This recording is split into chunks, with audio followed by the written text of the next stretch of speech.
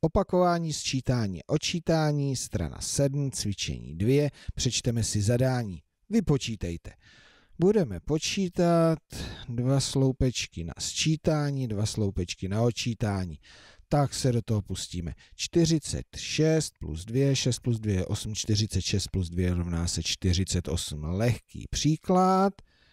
2 plus 48, aha, tak tady jsou jenom zaměněny sčítance, takže když zaměním sčítance, tak se mě co součet nemění. 2 plus 46 rovná se také 48, takže to si můžete pamatovat, že když se vám nelíbí třeba takovýhle příklad, 8 plus 72, v hlavě si ho otočíte na 72 plus 8, takže tady vznikla desítka, takže to je 80.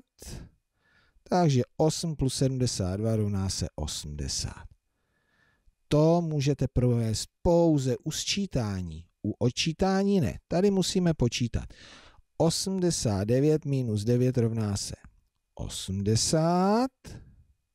Druhý příklad 89 minus 80, takže všechny desítky pryč rovná se 9. Ono se nám tady také něco otočilo.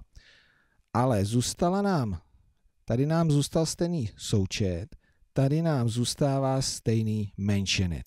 Tady to se nám vyměnilo. Menšitel se vyměnil s rozdílem. Třeba to někdy ještě použijeme.